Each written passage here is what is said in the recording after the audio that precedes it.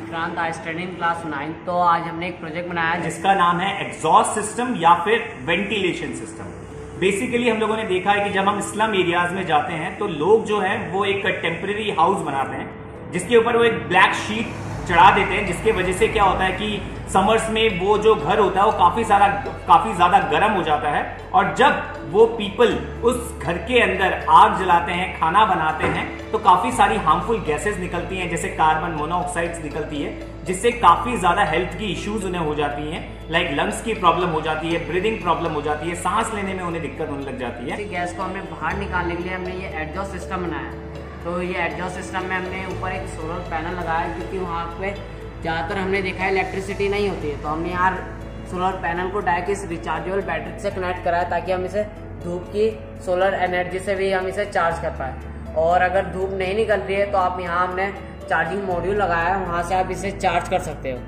Exhaust fan लगा हुआ है, जो क्या करेगा, गर्म हवा को बाहर निकालेगा इन विंडोज़ के थ्रू ये जो किनारे में आपको विंडोज़ दिख रही है, यहाँ से हमारी जो हॉट एयर होगी वो बाहर निकलेगी। सो बेसिकली काम कैसे करेगा ये? काम ये कुछ ऐसा करेगा कि हम इसको, अगर मैं आपको प्रॉपर इसका स्ट्रक्चर दिखाऊँ तो आप देखेंगे नीचे हम लोगों ने एक जाली लगा रखी है और इस तरीके से हम उनके घर के ऊपर इसे फिक्स कर देंगे। सो so नीचे से अगर कुछ गर्म हवा आती है हॉट एयर आती है तो गर्म हवा नीचे से फ़ैन के थ्रू ऊपर जाएगी और फ़ैन के थ्रू जब ऊपर जाएगी तो ये हमारा एग्जॉस्ट सिस्टम है। यहाँ से सारी जो हॉट एयर है, वो बाहर निकल आएगी। और लगाना बहुत इजी है। बारिश में भी कोई दिक्कत नहीं होगी, क्योंकि बारिश ऊपर से अगर आती है तो ऐसा कुछ प्रॉब्लम फेस करने को नहीं मिलेगा।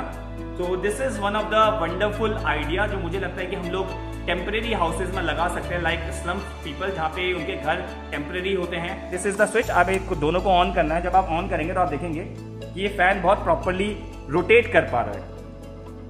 और काफ़ी हवा यहाँ से निकल रही है। तो आप देख सकते हो इनकी रेज डायरेक्ट सोलर पैनल पे पड़ रही है। और सोलर पैनल से यहाँ एलईडी जल रही है। इसका मतलब कि बैटरी चार्ज हो रही है हमारी।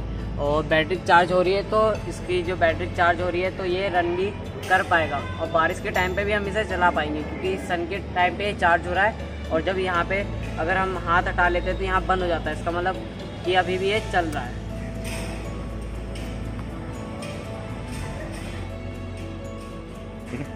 तो हमने सोचा क्यों ना उनके जो घर है जो टेम्परेरी घर है उसमें एक ऐसा एग्जॉस्ट सिस्टम दे दिया जाए कि अगर वो अपना घर किसी दूसरी जगह भी बनाना चाहते हैं तो वो उसे लेके जा सकते हैं इजिली और बेस्ट आउट ऑफ़ वेस्ट से इसे बना सकते हैं अपने घर में without any much you know cost effective ये हमारा प्रोजेक्ट है। तो आपको ये हमारा प्रोजेक्ट कैसा लगा? Thank you so much